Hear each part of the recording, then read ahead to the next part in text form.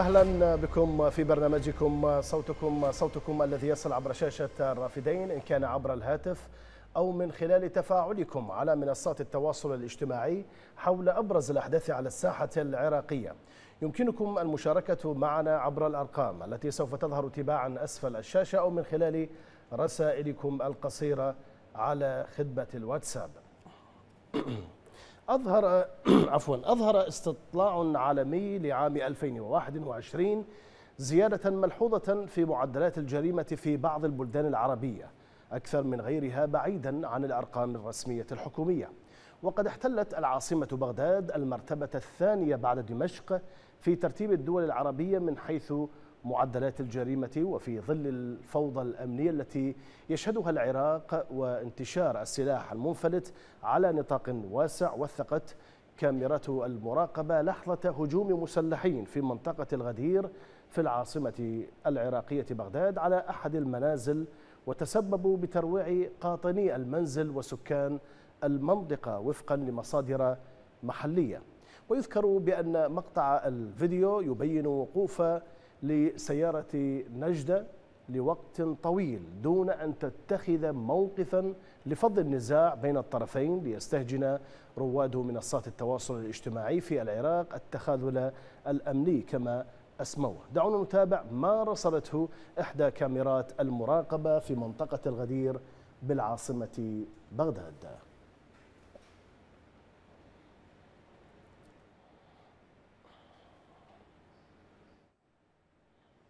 نعم.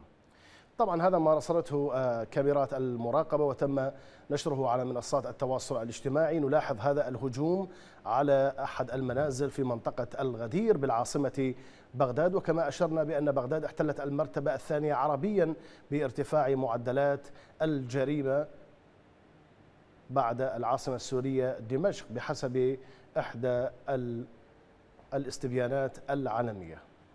نلاحظ هنا تشابك بالأيدي بين أحد النساء وبين المسلحين وكذلك بين الرجال ووقوف سيارة النجدة كما نلاحظ دون تدخلها أو تدخل العناصر عناصر هذه النجدة لفض هذا النزاع وهذا الهجوم المسلح. تفاعل الجمهور العراقي كما أشرنا وعبروا عن امتعاضهم لموقف سيارة الشرطة ومنهم من علق وقال كسيف قال متهكما نشكر رجال الشرطة الأبطال لجهودهم المبذولة والشعور العالي بالمسؤولية من خلال التفرج على هذه المشاجرة. أما ضرغام أياد اللامي فقال دائما نشوف بالأفلام من تخلص العركة يجون الشرطة بس بالعراق. الشرطة يباعون وحواجيز. مروان النداوي علق وقال من خلال المقطع قد القانون ضعيف وما إلى أي هيبة ولا احترام يعني بوجود قوات الأمن وهيجي صدق بلد تايه أما عارف فقال عارف نوري قال نشكر جهود أبطال الدورية لحماية المعتدين من أهل البيت الآمنين يقول عرفت العراق إيش بيه؟ يعني كانت التعليقات اغلبها أغلبها متهكمة وتعبر عن سخط و لما يصل إليه الحال أو ما وصل إليه الحال في العراق وخاصة هذه العاصمة يعني عاصمة بلد يجب أن يكون فيها الأمن على أعلى درجات المسؤولية من قبل المسؤولين فكيف هو الحال بالمحافظات الأخرى. يعني فقط نذكر ونعيد بأن الاستبيان الذي رصد الحالة الأمنية للعواصم العربية لعام 2021 سجل زيادة ملحوظة في معدلات الجريمة في بعض البلدان العربية وكان هذا الاستبيان بعيدا عن الأرقام الرسمية الحكومية وقد احتلت كما قلنا العاصمة بغداد المرتبة الثانية بعد دمشق في ترتيب الدول العربية من حيث معدلات الجريمة. طبعا لا يخفى على أحد بأن انتشار السلاح وبيعه في بعض الأماكن هناك أسواق لبيع كافة الأسلحة الخفيفة والمتوسطة وكذلك حتى وصل الحال إلى أن هناك مواقع إلكترونية تبيع هذه الأسلحة وتنتشر الأسلحة في العراق هذا أحد الأسباب لانتشار الفوضى وكذلك يعني الميليشيات المنتشرة والنفوذ. نلاحظ بأن من لديه نفوذ في الحكومة من لديه نفوذ في الميليشيات يستطيع أن يتحرك وأن يعبر السيطرات الأمنية دون محاسبة. معنا اتصال أبو مالك من أمريكا. أبو مالك يعني شاهدنا هذا المقطع هجوم على بيت في حي الغدير في العاصمة بغداد. آه، وجود سيارة للشرطة آه، أرقام عالمية تسجل العاصمة بغداد من ضمن أسوأ العواصم من الناحية الأمنية وبارتفاع معدلات الجريمة فيها. رأيك أبو مالك؟ أستاذ عمر يعني هذا مو شيء غريب عليك ولا علينا. نعم نعم. الأمن مفقود داخل العراق. امم والسلاح بيد الميليشيات. والميليشيات هي اللي هسه اللي تحكم. والعشائر طبعا هذول الميليشيات كلها مرتبطة بعشائر أكيد يعني. إذا صار خلاف اعتيادي راح يستخدمون هاي الاسلحه اللي خاصه بالدولة. نعم. وناس تصفي ناس لأنه أكو مثل عندنا بالعامية يقول لي إذا غاب القط العب يا فار قانون ماكو بالعراق. والصول وجوا للميليشيات براحتها. لماذا لا يوجد قانون لماذا لا يوجد قانون في العراق؟ لأنه ماكو سياسيين حكومة ماكو أبو أستاذ عمر. نعم. ماكو حكومة دولة كلهم عملاء ديول. إحنا عندنا سابقا بالنظام الأصلي الخيانة العظمى يحال لمحكمة ويعدم للإعدام. ثلاث أرباع السياسيين اللي عندك هم ديول تابعين لإيران وكانوا يحاربون مع الجيش الإيراني. اليوم قادة سياسيين دا يحكمون بالعراق. ما أعرف يا أخي أنا دا أستغرب هذا الشعب العراقي شلون متقبل هاي الديول يعني ما يعرفون تاريخهم.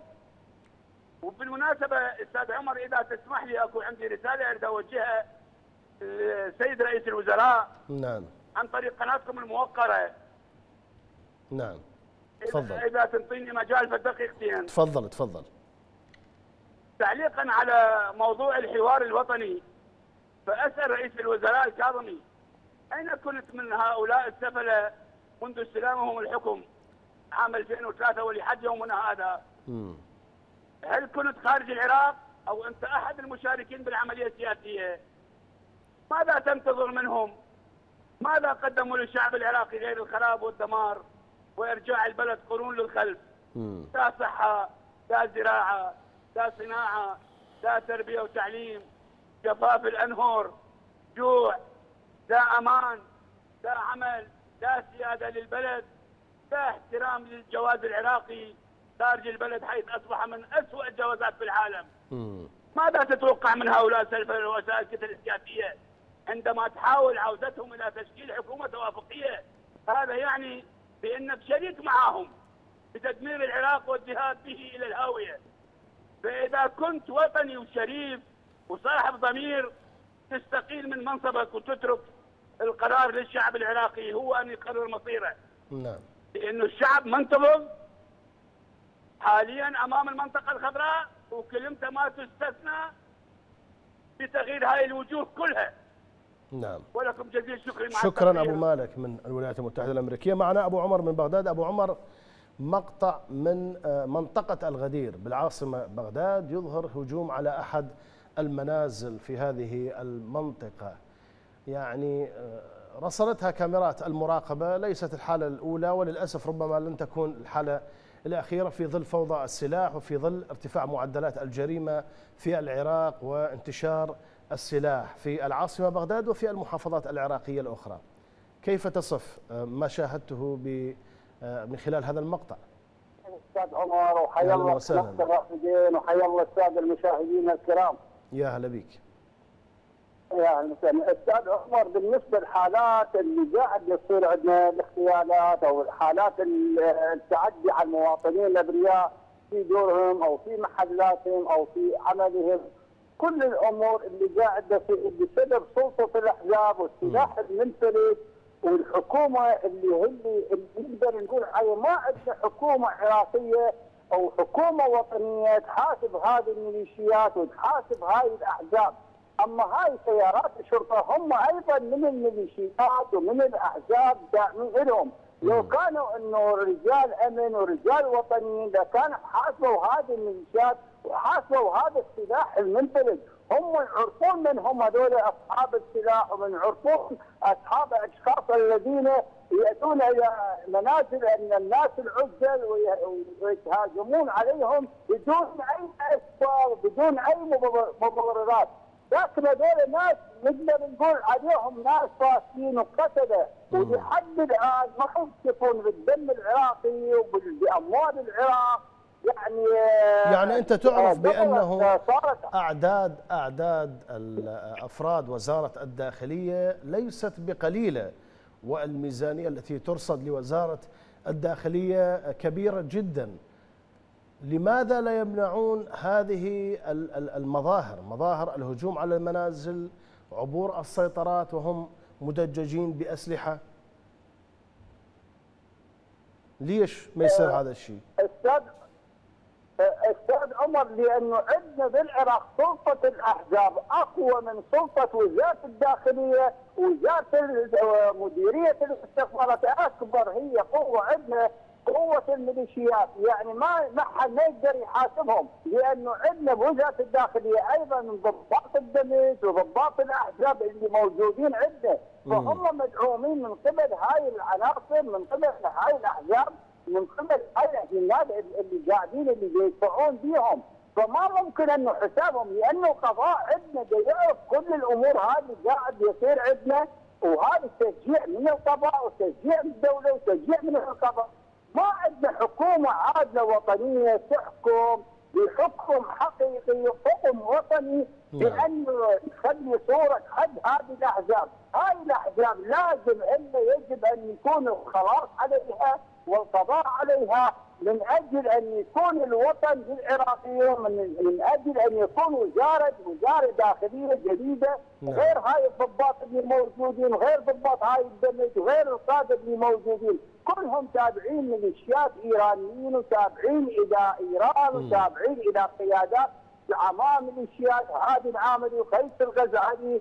وكل ما ما يدور ما يحكم في الدولة كل تابعين لهم نعم. فماكو لهم سلطة يعني انه تحكم من هذه الوزارة الداخلية لأن وزارة الداخلية هي تابعة للميليشيات فكيف يحاسب شخص نفسه بنفسه؟ نعم. هذه لا يمكن أن يكون محاسبه محاسبتهم من أجل مكاتب لحد الان ما شفنا اي أي جهة واي أي دعوة صارت تحاسبوا بها هاي الميليشيات أو تحاسبوا بها. هاي القضاء إنه نعم. العراقي آه وجه آه يعني نعم أي تهمة شافها أو سمعها وتم المطالبة بهذه التهمة وما صرح أي تصريح وما اتخذ أي قرار لأنه القضاء عندنا مسيد وهذا قضاء إيراني تابع لهذه نعم. الاحزاب أنا أشكرك. ممكن أنه يبقى العراق على هيك حاجة نعم أنا أشكرك أبو عمر من بغداد كان معنا مستمرون معكم أعزائي المشاهدين.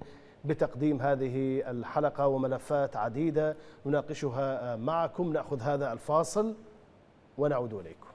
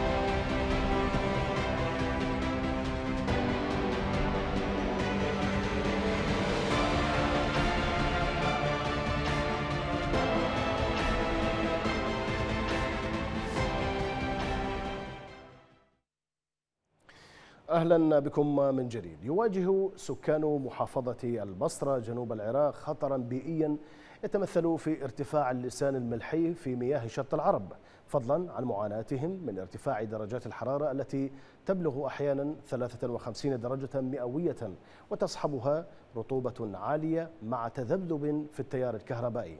وقبل سنتين حذرت منظمة هيومن رايتس ووتش من خطر تكرار أزمة المياه في محافظة البصرة.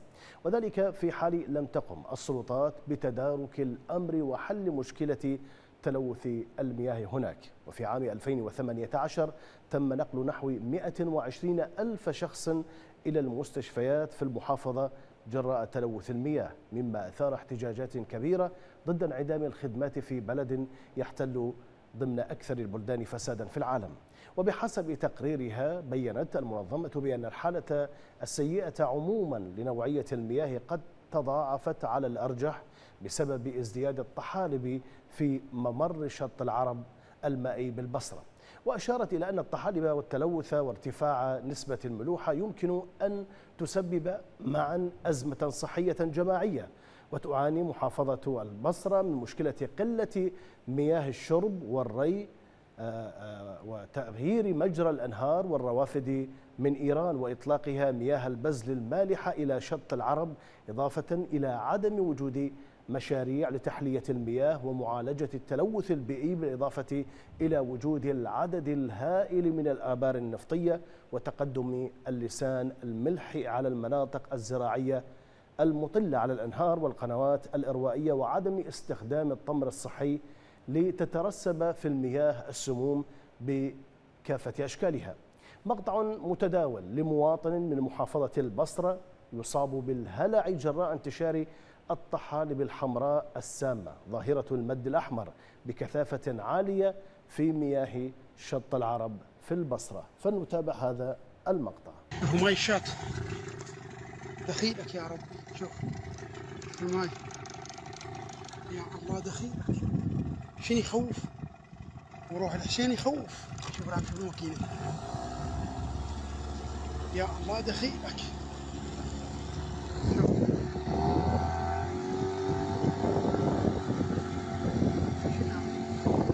زفيت جيب. استغفر الله يا رب استغفر الله يعني هذا ما يشط ما يشط هذا إيش اسود.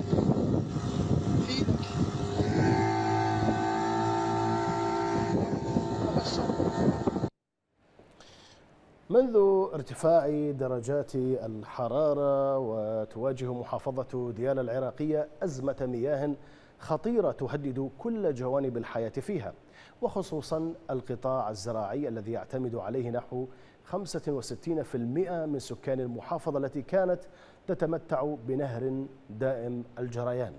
هو نهر ديالى الذي يمر عبر مختلف مدن المحافظة الواقعة شرقي البلاد قبل أن يتحول إلى أشبه بجدول صغير إثر تغيير إيران مجرى رافده الرئيسي القادم من أراضيها وعملت إيران أكثر من مرة إلى تغيير مجرى روافد عدة ضمن حدود الأراضي الإيرانية. الأمر الذي أدى إلى تداعيات بيئية واقتصادية وإنسانية كبيرة في محافظة ديالى وتزامن ذلك مع شح في تساقط الأمطار في الشتاء الماضي.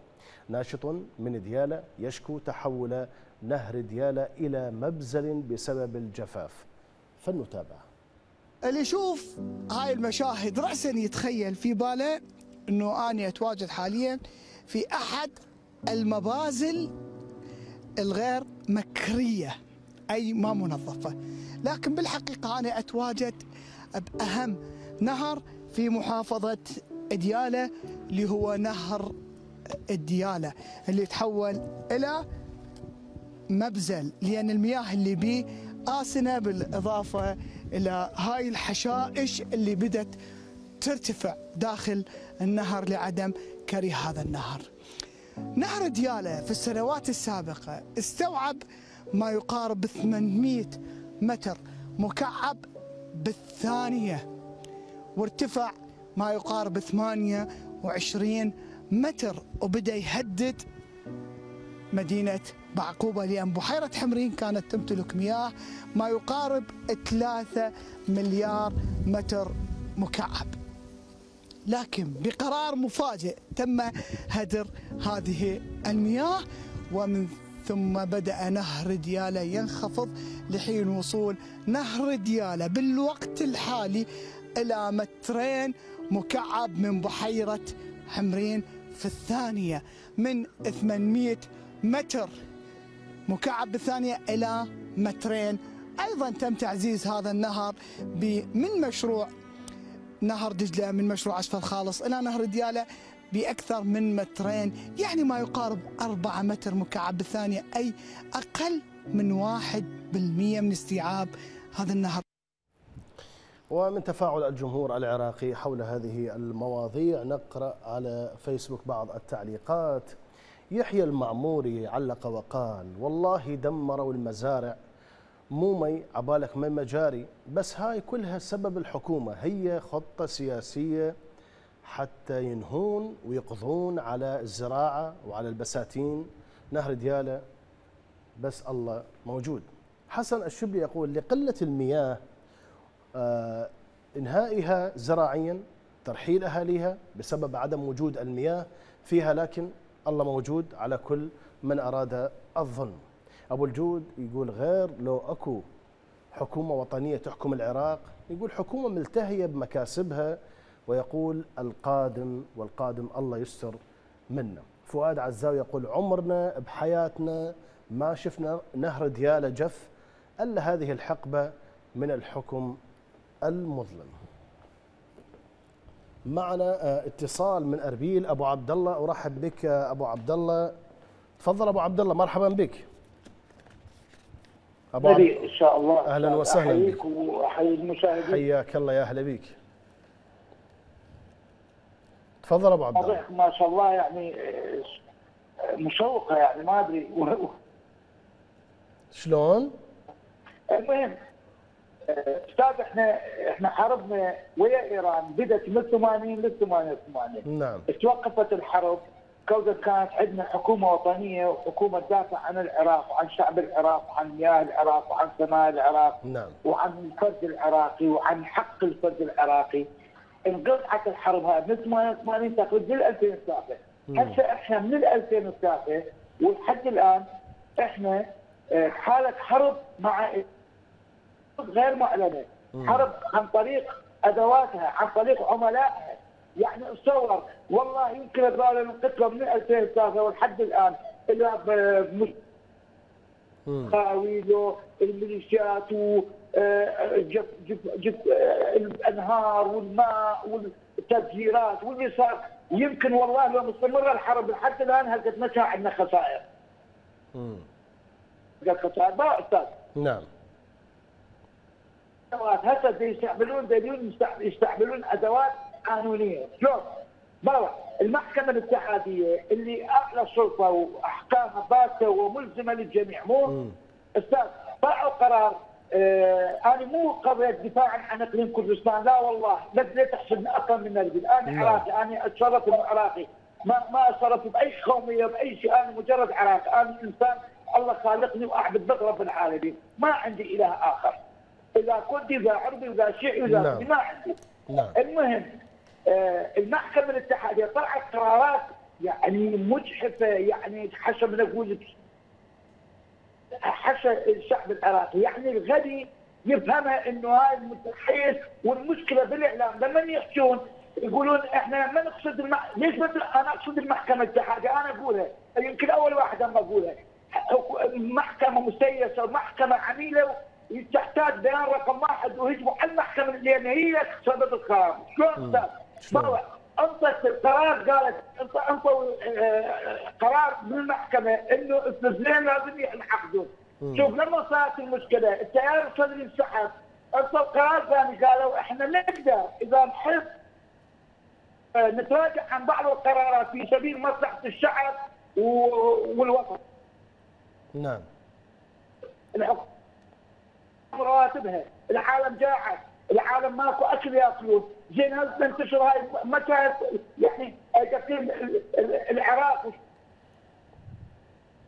نعم. شفتوها وأنا أطالب هسه من الصدريين وطالب من الشعب العراقي ومن التشرينيين وكل مواطن شريف وكل مواطن عراقي. فقط نعم. لا يحب قوميته لا يحب آه، مذهبه. إحنا كنا نعم. الاتحاديه بيكسروها على رؤوسهم على رؤوسهم وأنا أقول لهم أنا أبو عبد الله من نبيل وأتحداكم مش ما تسوون سووا أنا بس عندي الله واحد. ما عندي نعم. اثنين أنا. نعم. اذكرك يا أستاذ. أنا أشكرك أبو عبد الله من العربي كان معنا. معنا أبو أحمد من لندن. أبو أحمد إحنا دائما بالبرنامج نطرح هذا التساؤل اللي آه، آه، تكلم به وزير الموارد المائية. قال بأنه العراق هذا صار له طبعا الكلام آه، سنتين وسنة. العراق بصدد رفع دعوة في آه، الأمم المتحدة على إيران بسبب آه، آه، غلقها لروافد الأنهار من إيران القادمة من إيران وفتحها المب- المبازل وتضرر الأنهار بالعراق بالجفاف وكذلك التلوث وارتفاع نسب الملوحة. وين الوزير عن وعده برفع دعوة قضائية رفع شكوى إلى الأمم المتحدة؟ تحية لك أستاذ حياك الله، يا أهلا. وعلى وسهلا. قناتكم الوطنية أنا أريد أتعلق أول شيء على تفضل. مسألة حي الغدير إذا تسمح لي. نعم نعم تفضل. وبعدين تبعنا على الطحالب الحمراء وعلى ديالة تفضل. أول شيء أول شيء العراق به قانون بس القانون معطل. نعم. والدليل والدليل أين قاتل مدير بلدية كربلاء المهندس المرحوم عبير الخفاجي كلنا نتذكر الحادثة. كيف تم رمي رمي ب- ب- بصورة واضحة وقتله أمام الناس. مم. وين هذا القاتل؟ نعم. شو طمطمة ما حد يدري بيه وين لأنه تابع لأحد الأحزاب. فلذلك موتوا الموضوع وتناسوا به، يعني أكو قانون بس معطل كليا. مم. وبيد الأحزاب هم اللي يتصرفون كما كما يشتهون وكما يشاءون. هذا نعم. واحد. نرجع للطحالب الحمراء. هذه إحنا مو إحنا هسه متفقين إنه الدولة ماكو عصابه هاي أوكي بس نحط حلول. الحلول يجب على الدولة الآن عمل خلية أزمة. من وزارة من وزارة الموارد المائية وزارة الصحة البيئة مجلس محافظة البصرة. نعم. شكو شخص يفتهم دعوة عامة للجميع. من يفتهم بهذا الموضوع؟ أجمعهم في هذه خلية الأزمة. آخذ نماذج. وبما أنه الآن منسوب المياه منخفض هاي مم. فرصة ذهبية لتنظيف مجرى مجرى الانهار شط العرب ودجلة والفرات هاي فترة ذهبية لتنظيفها وتجريفها وإزالة كل الطحالب اللي موجودة من عندها نعم. نجي للموضوع الثالث. أكو قوانين دولية في توزيع المياه. نعم. العملية مو فوضى العراق الوحيد اللي مهت- ما مهتم بهذا الموضوع. مم. يعني إحنا هسه عندنا جيران تركيا وجيران إيران. عندنا موارد موارد مائية من عندهم تجينا منابع ماء تجي من عندهم. نعم. مو بكيفهم يسدون ويحطون. يجب أن نحتكم إلى القانون الدولي في توزيع المياه. إحنا المشكلة وزيرنا ما يدري صولة صولة عابه وين. يعني هم يقولوا لك بالعراقي صولة عابه سيد عمر. نعم. ما يدري صولة صولة عابه وين؟ يعني أنت هسه عندك قانون دولي إنه هذه دجله والفرات ينبع من تركيا. هذه بعض ال- ال- المنابع تجي من إيران. أجي أكو قانون دولي أروح أحتكم له إنه أنا عندي حصة. أين حصتي؟ أنا عندي 41 مليون. نعم. هاي الواحد ب 40 مليون مطلوب من لكل واحد باليوم متر مكعب واحد. هاي المتر المكعب 41 مليون متر مكعب باليوم هذه كلها يجب أن تحسب للأسف. هذه مغيبة 100% نعم. يعني إحنا هسه دولة صار لها أكثر من عشرة أشهر ماكو دولة ماكو حكومة. مم. فلذلك الوزير يقول لك أنا وزير تسويف الأعمال بس أستلم رواتب وهاي وما أقدر كل شيء أقدم وكل شيء أسوي. وأنا نعم. هذا اللي أشكركم جدا على شكرا المواضيع شكرا لك تطرحوها. أبو أحمد بن لندن كان معنا. معنا أبو عبد الله من صلاح الدين. مرحبا بك معنا أبو أحمد. انقطع الاتصال مع أبو عبد الله من صلاح الدين. نعم نذهب إلى موضوع آخر. بالتوازي مع الارتفاع الكبير في درجات الحرارة في العراق. رافقها انقطاع في المنظومة الكهربائية في عدد من المحافظات وعبر أهالي قضاء الرماثة في محافظة المثنى عن استيائهم الكبير من القطوعات الكثيرة بسبب النقص الحاد في كميات الغاز التي توزع على أصحاب المولدات ليغرق القضاء في ظلام دامس. فلنتابع. والله سكهرباء ماكو والله. وهاي عندنا أطفال يعني وش اسمه وجو حار تدري بيه انت؟ لازم يوفرون غاز له المولدات. ماكو والله كهرباء. هسه وضعيه ماكو المولدة طافية وكهرباء ماكو ويقولون أكو آه، بالنسبة للغاز ماكو. والله صراحة كلش الوضع تعبان يعني. آه، كهرباء ماكو ما توفر يعني بصورة مستمرة. يعني إذا كل ساعتين أو أقل من ساعتين يعطونها باليوم. واليوم المولدة ما يشغل يقول الغاز ما ما يوفرون لنا مجانا وإحنا ما نقدر نشغل صراحة. واليوم خلصتنا يعني الحصة مالتنا خلصت مال الغاز آه، قطعوها لنا الصراحة. صار لها ساعتين أكثر تقريبا بالساعتين الوضعية هاي تعبانة شفت أطفال عندنا الصراحة أطفال خدج عندنا. واللي ك- الجو حار وأمراض عندنا. أبوي الصراحة والدي مريض وحالته تعبانة كلش. فنريد نطالب بركة الله يوفر لنا ال- الغاز للمولدات حتى يشغلون بصورة مستمرة والكهرباء بركة الله يحسنونها يعني. الوضعيه تعبانة يعني. كل كل صيف يعني اسوء من ال- الماضي يعني. نذهب إلى تفاعل الجمهور العراقي مع آه، استمرار معاناة الشعب العراقي مع انقطاع التيار الكهربائي؟ محمد الشاهر يقول والله وقت العراق عايش على المولدات. أما أبو حسين الراعي فيقول بلد النفط ما بي كهرباء تعليق آخر من صادق الجحيش يقول كهرباء ماكو مي ماكو صحة ماكو غذائية ماكو شكو ماكو كل شيء ماكو يقول. أبو أسامة الخفاجي يقول أساليب وتفنن في مضرة الناس ما نزل الله بها من سلطان. دعونا نذهب إلى ملف آخر حيث كشفت وزارة التخطيط العام الماضي عن وجود قرابة أربعة ألاف مجمع عشوائي في العراق ربعها في العاصمة بغداد. وقال المتحدث باسم الوزارة عبد الزهر الهنداوي بأن هناك أربعة آلاف مجمع عشوائي في عموم العراق تضم هذه العشوائيات 522 ألف وحدة سكنية أي أن هناك 522 ألف أسرة تعيش في هذه العشوائيات. وأضاف أن حصة العاصمة بغداد من هذه العشوائيات هي الربع وبواقع 1022 عشوائية. تليها محافظة البصرة بواقع 700 مجمع عشوائي لافتا إلى أن أقل المحافظات التي تتواجد فيها العشوائيات هي محافظة كربلاء بواقع 98 مجمعا عشوائيا والنجف بنسبة 99 مجمعا عشوائيا. وقد شكى مواطنون من أهالي منطقة الجزيرة في قضاء شط العرب من توعد قائم مقام القضاء بإزالة منازلهم التي يسكنون فيها على الرغم من امتلاكهم. طاب صرف وناشدوا الجهات المعنية لحل معاناتهم. دعونا نتابع هذه الصور. شيخ اسعد العيداني بالتدخل السريع. بالنسبة أستاذ أنت قلت اللي عنده مستمسك واللي عنده طابو يقدمه قدام القانون. وإحنا هذا القانون أستاذ. دن دن شوي الكاميرا خلينا نشوف الاستاذ عبد السعد العيداني. إحنا هذا طابو صرف. واستاذ قائم مقام حيدر يقول لي ألا نبلشك. وهذا تجاوز على المواطن. هم والبلدية. ونرجو منك يا أستاذ أسعد تدخل. بشؤون الناس الفقراء وإحنا ناس كسبة. أرض ملكنا.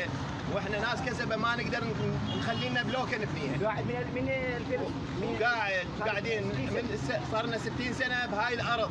وأرض ملك صرف. وهذا الطابو أستاذ طلعناه العام من الطابو آه 2021 بشهر السابع. وهذا طابو مستمسك إنه دليل قاطع لكل واحد ظالم يظلم حق المواطن. نذهب إلى تفاعل الجمهور العراقي حول هذا الموضوع وإزالة بعض المنازل في محافظة البصرة. يوسف الهاشمي يقول إذا عندكم سند يعني طابو ما من حق أي واحد يفلش بيتك يجب التعويض قبل الإزالة. أما علي المغامس فقال العيداني مستعد يفلشها المهم ما يعطل عنده مشروع عمي حاميها حراميها. أحمد الرياني ها أسعد العيداني النوب رجعتوا على أهل البصرة أنت مو تقول أهل البصرة أحق بمدينتهم؟ لك الله يا الفقير. علي يقول إذا ظهرك قوي أمورك تمشي. نعم. دعونا نذهب إلى تقرير عده قسم التواصل الاجتماعي في قناة الرافدين حول الصمت الحكومي أمام كارثة اندثار أهوار العراق كما حذر نشطاء البيئة من جفاف الأنهر والأهوار في العراق ولكن من دون أن يلاقوا أي اهتمام حكومي أو دولي لمواجهة هذه الكارثة البيئية. المزيد في سياق هذا التقرير. مساحات مائية واسعة تختفي من خارطة العراق لتتحول إلى أرض جافة تحيل كل نبات يابسا بعد أن كان مخضرا. بعد أن كانت مقصدا للسياحة الداخلية والخارجية في ظل صمت حكومي رهيب.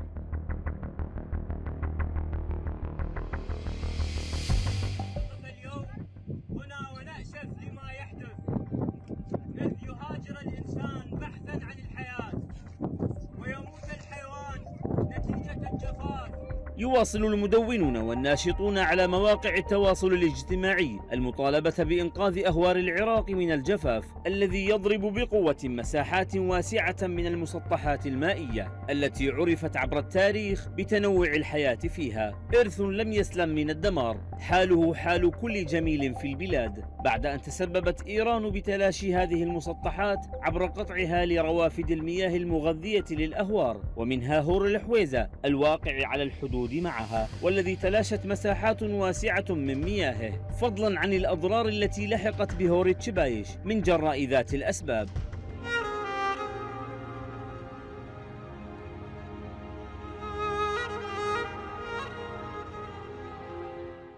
إذا هي جريمة تمارس ضد التاريخ.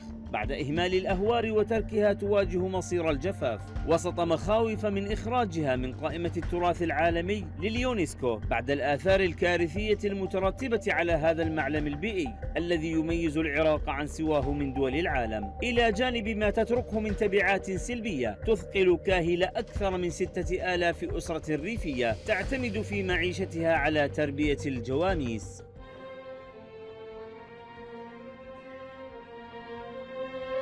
هذه الجواميس التي بدأت تنفق بالمئات والتي تستخدم صور نفوقها للدلالة على حجم الكارثة البيئية. أضحت هي الأخرى سببا للتلوث ولتفشي الأمراض الخطيرة. واضعة مستقبل الأهوار وتنوعها البيئي على المحك.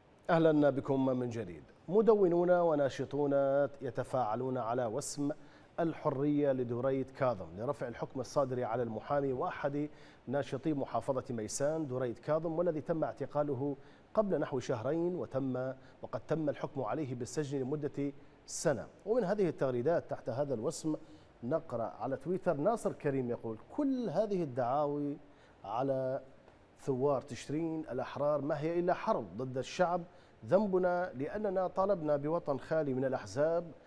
قتلوا شبابنا والآن تطاردون بالدعاوي الكيدية. كفى ظلم كفى تهميش كفى قتل. محامي ينشر منشور بسيط. يحكم سنة وأربعة شباب من العزيزية إعدام يقول عجيب. أما المهندس محمد العراقي فقال الثائر والمحامي دريد آل در أحد ناشطي ميسان حكم عليه بالسجن سنة واحدة بسبب دعاوى كيدية لفقت إليه أو لفقت عليه دريد يستنجد بالأحرار والناس الخيرة ولكل من يهمه أمر دريد عليه بالتدخل فورا للنظر بقضية دريد كاظم لإنقاذه من الدعاوى الكيدية والحكم الباطل الذي صدر بحقه. مصطفى غرد وقال أما كفاكم من دمائنا أتحسبون بأنكم ستسكتون صوت الأحرار؟ لا والله فلن نترك العراق لكم وسننتصر. مصطفى جاسم يقول أصبحت الدعاوى الكيدية طريق يسلكه أعداء الحرية. على إثر ذلك تم تكميم الصوت الحر للمحامي دريد كاظم. تم الحكم عليه سنة لأنه كان يواجه كواتمهم الغادرة بصوته الحر فقط الحرية لدريد كاظم.